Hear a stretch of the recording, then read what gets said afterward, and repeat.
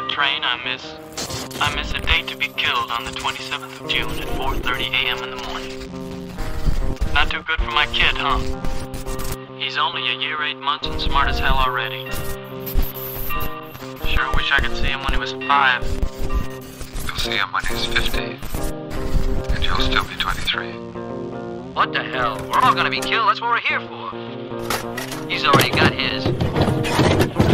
The big Swede here, he's gonna catch flu and die on shipboard.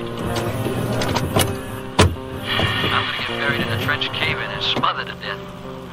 now isn't that a hell of a way to go? All! Next stop, New York, Atlantic Ocean, and a Paris, France. What's this guy doing? He ain't gonna get killed. Leave him alone. He's all right.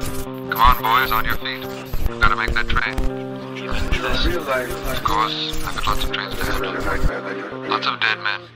So many dead men. It would be cruel. You wouldn't believe it. Pretend that anyone could help, could help you.